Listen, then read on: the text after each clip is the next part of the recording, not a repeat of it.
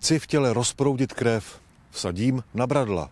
Chci se zastavit, zařídí to červená. Rád bych se příjemně rozhlédl, překonám okenice. Vítejte u potravin z domoviny. A teď to všechno překlopím do reality. Když navštívím v Olomouckém kraji obec Klopinu, mohu vyrazit procházkou ke skalnatému vrchu zvanému Bradlo nad Lipinkou. Když se chci zastavit, udělám to před červenou skálou a porozhlédnout se mohu přímo v obci při obou březích říčky Okenice. Právě tady, kde je od pradávna zemědělství zasazené do malebného prostředí venkova, prožil klukovská léta šéf v Klopině sídlící akciové společnosti Úsovsko, jenž patří mezi členy iniciativy zemědělských a potravinářských podniků, jejímž smyslem je zachování kvalitní, zdravé české potraviny v potřebné množství na trhu dostupné, a to pozor, ve stále nepřehnané, ale rozumné ceně. Zkusme se dívat na výrazné české producenty potravin stejně jako oni se dívají na život kolem sebe. K němuž cítí historickou zodpovědnost násobenou zodpovědností vůči následujícím generacím. Tak zaprvé je potřeba říct, že jsem se narodil na vesnici, vyrůstal jsem v, v tom zemědělství, jakoby v tom okolí, no a samozřejmě moje rodiče i prarodiče pracovali v zemědělství celý život. Samozřejmě chodil jsem na zemědělskou technickou školu do Šumperka. Tam jsme, tam jsme maturovali jako zootechnici a agronomové a potom už jsem pokračoval dál na vysokou školu do Brna jako agronom. Já si myslím, že to poslání je pořád stejné. Produkce, produkce ať už surovin, potravinářských nebo přímo potravin. Eh, myslím si, že české zemědělství je určitě jedno z nejvyspělejších v Evropské unii můžu to i posoudit, protože jsem měl možnost se podívat do okolních států, ať už po stránce, po stránce toho rozvoje, který se tady stál za těch posledních 30 let. Potkávám se s lidmi, kterým slovo vlast už skoro nic neříká. Myslím si, že vlast to je i naše půda, které bohužel i také díky nevlastencům u nás ubývá. Jen tak mezi námi. České zemědělce vnímám jako vlastence, kteří půdu chrání. Patří mezi ně člen iniciativy zemědělských a potravinářských podniků akciová společnost Úsovsko, která v 90. letech vzešla z někdejšího JZD transformací na moderní akciovou společnost. Jako správný hospodář, šetrný k přírodě, využívající co nejvíce přírodních hnojiv, provazuje rostlinnou a konvenční živočišnou výrobu. Ekologickou živočišnou výrobu tedy neschází třeba ani pastviny, pěstuje ovoce, věnuje se také potravinářské a dokonce lesní výrobě. Podporou toho jsou všechny přidružené výroby průmyslové a stavební. To vše se děje jak přímo pod společností Úsovsko, tak v jednotlivých stoprocentně vlastněných ceřiných firmách dohromady za jeden provaz táhnoucích. Celkově Úsovsko akciová společnost zaměstnává asi 400 lidí, obospodařuje 15 000 hektarů k dnešnímu dní a dosahuje, dosahuje uh, obratu asi 900 milionů korun ročně. Co se týče rostlinné výroby, produkujeme hlavně obiloviny, řepku, kukuřici, cukrovou řepu a krmné plodiny. Samozřejmě, když to vezmu obiloviny, tak je to sladovnický ječmen, pšenice, oves. Oves zpracováváme na vločky a samozřejmě část toho ovsa i zpracováváme v našich výrobcích. Pšenice, pšenice prodáváme různým mlinářským a výkupním organizacím, takže může se zákazník s ním setkat v podobě pečiva. Ječmeny, tak tam děláme gro sladovnických ječmenů, které samozřejmě víme všichni, že končí v pivu. Takže dodáváme například i do plzeňského prazdroje, do Radegastu. Krmné plodiny používáme jako krmení pro krávy v živočišné výrobě a pro bioplynové stanice. Česká potravina z českých surovin má pro mě jako třeba milovníka piva logiku, protože České pivo si nedovedu představit jinak než z českých surovin. Kdybych to chtěl jinak, tak bych byl i vůči sobě samotnému surový. Poněvadž česká potravinová surovina je nesmírně kvalitní. A aby byla co nejpřirozenější, tak je potřeba mít také kvalitní plodiny. Ano a K tomu je dobré mít i živočišnou výrobu, protože ta sebou přináší přírodní hnojiva. V živočišné výrobě dneska chováme asi 1350 kusů dojného skotu. Máme ho, máme ho eh, etablované na jedné farmě v Šumvaldě, kdy část, postupnou přestavbou jsme dokázali ten skot dostat na jednu farmu, takže je tam vysoká produktivita práce, je tam zajištěný welfare pro tyto kravičky a myslím si, že mléko, které dodáváme všechno výhradně do společnosti Orero na parmazán, který všichni znáte, když si strouháte na špagety. Jenom z nejlepšího mléka se dají dělat nejlepší síry. To tady vědí. A vědí také, že vysoká poptávka po sírech z jejich mléka vyžaduje vysoké výkony v dojivosti, ale ne na úkor kvality. Ta musí být vždy prvotřídní. Ostatně výrazní zemědělci a producenti potravin jsou pod největšími kontrolami, které se v Česku přísně opírají o stejně přísné potravinářské normy, takže logicky v Evropě patří v kvalitě na špičku. Tady ročně vyprodukují ke 13 milionům litrů mléka. Když jsem hovořil s majitelem Orera, tak jsem se optal, proč investoval v České republice do této sírárny tak mě říkal, že jedno z hlavních důvodů je ucelené velké dodávky jedno stejně kvalitního mléka. To, je, to bylo jeho motiv, proč jel jsem na Moravu a vytvořil tady vlastně největší, myslím, je to sírana v České republice. Byla řeč o dojnicích a nyní budu mluvit o silnicích, po kterých se dováží zdaleka kdejaká potravina.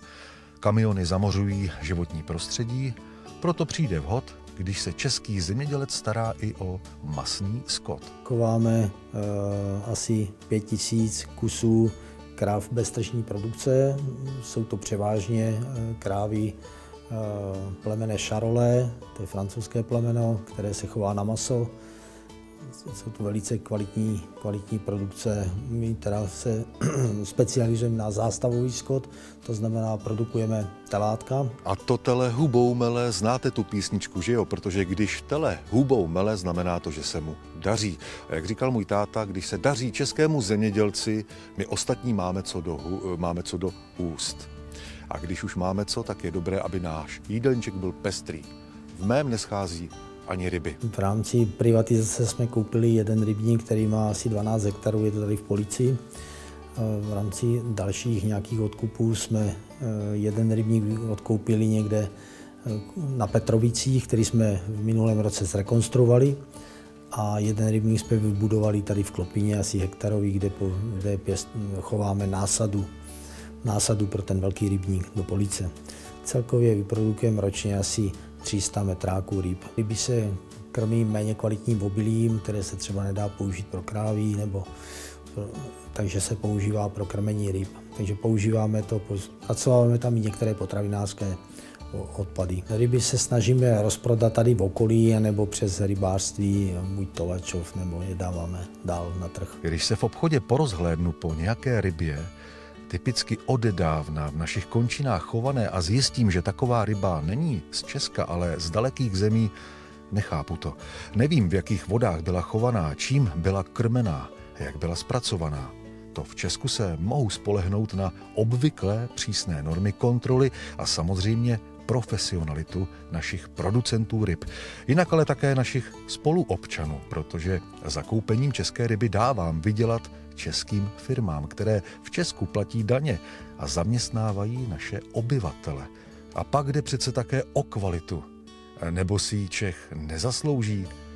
Nebo nemá mít právo být náročný? O ty ryby je zájem, protože ona každá sladkovodní ryba nemá ty podmínky k růstu tak dobré, některé ty ryby maličko to znáte, že ten kapřík je cítí trošku tím bahnem a tak dál, takže nám v našich rybnících tohle se neděje. My máme průtočné rybníky, kde je poměrně hodně vody a tím, že krmíme tou e, rostlinnou stravou, tak je to poznat i na tom mase a mm, já si myslím, že jsou velice chutné a dobré. Chováme tam kapra, amura, tolstolobíka, to jsou taky ty základní ryby, které tam chováme. Na štědrovečerním stole u pana Milka nebude scházet český kapr a jako dekorace poslouží vánočně nazdobené české jablko. No u pana Milka, jak pro kapra, tak pro jablko nemají daleko. První výsadba jabloní tady proběhla někdy v roce 63, ještě za družstva eh, Klopina. Potom následovaly další rozšíření rybí, seringle a postupně se zvyšovaly výměry eh, jabloní. Potom přišly višně, třešně se tu pěstovaly a v dnešní době můžeme říct, že pěstujeme jenom jabloně a višně. Ryby jsme zlikvidovali před rokem, protože byl nerentabilní, takže jsme je, s jeho pěstováním skončili. Eh, největší výměra eh, námi pěstovaného ovoce byla přes 300 hektarů. K dnešnímu dní máme něco málo přes 200 hektarů jabloní a višní. My jsme obnovovali intenzivně za posledních asi 8 let, jsme obnovili téměř všechny výsadby jabloní. Bohužel poslední tři roky eh, Evropská unie zastavila proplácení dotací pro velké firmy, takže velké firmy už dnes v podstatě obnovovat jabloně nebo jablo, sady nemohou.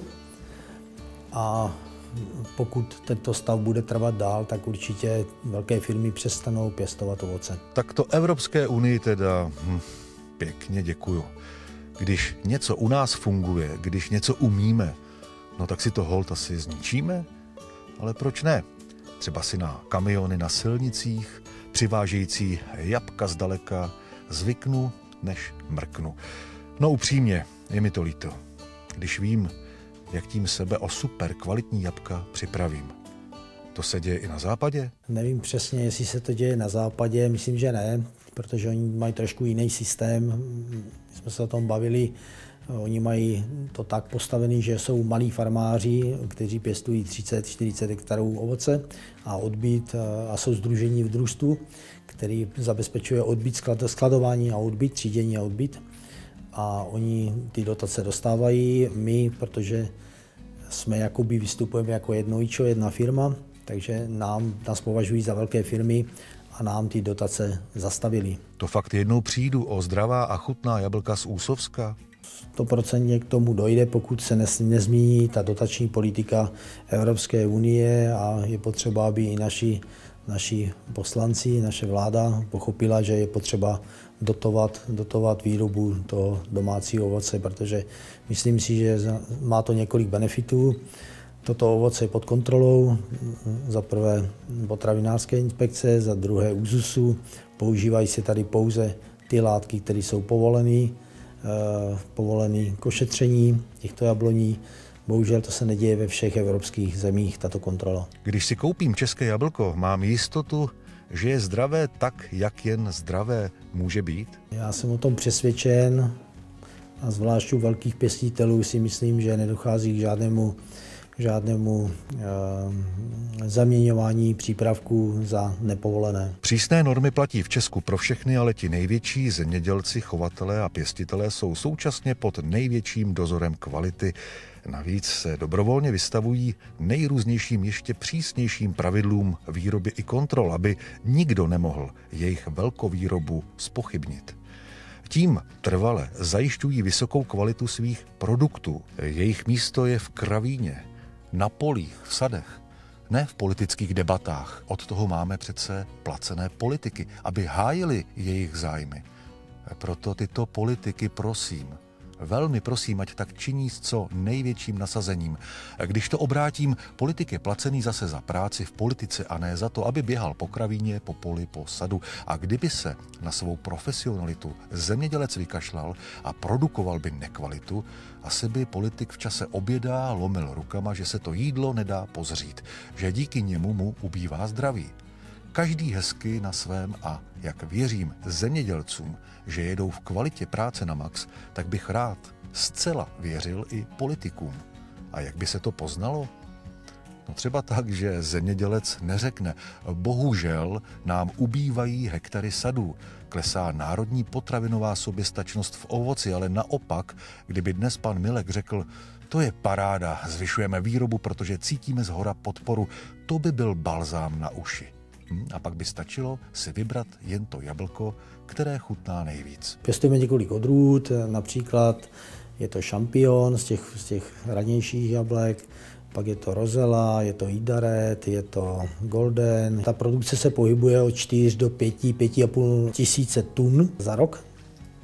Máme sklad na 2,5 tisíce tun, úlosklad, který jsme schopni skladovat je až do skoro příští sklízně ty jablka, takže je chladíme a jsou takzvané úlo atmosféře, kde je snížená, snížený obsah kyslíku. Hodně profesionální práce, hodně investic, to není legrace. Škoda, že zrovna takovým se krátí dotace. Je potřeba říct, že zhruba obnova jednoho hektaru sadu stojí až 300 milionů korun.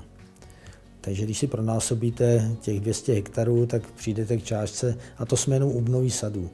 Potom je to samozřejmě investice do těch skladovacích prostor, do přepravních beden, do balíček, do prostě třídičky a tak dále, že jsou to velké investice, takže dneska bohužel, když jsme se, nebo zastavíme se u, té, u toho prodeje těch jablek, tak jsme v situaci takové, že v podstatě jsme konfrontováni s polskou levnější výrobou, kdy oni, oni mají dotace my třeba investiční dotace eh, nebo se pohybujeme kolem 30, maximálně 40% v tom Polsku mají až 90% investiční dotace na investice do sadařství. A tak je to i v té západní Evropě, to je Německo, Holandsko, Dánsko, Belgie, takže oni se pohybují na těchto, těchto procentech dotací. Za dva týdny se do Klopiny vrátíme a představíme vám další činnosti společnosti Úsovsko. Tak jako jabloň patří do tamnější krajiny, tak tam patří i lidé, co zde zapustili kořeny. Svou práci umí, jen tak se nemíní vzdát. A právě takové lidi mám rád. Protože jsou tady pro nás. Nevykašlali se na předků odkaz. A vše dělají pro příští generace, aby tady také něco zůstalo po nás. Mějte se hezky a nashledanou.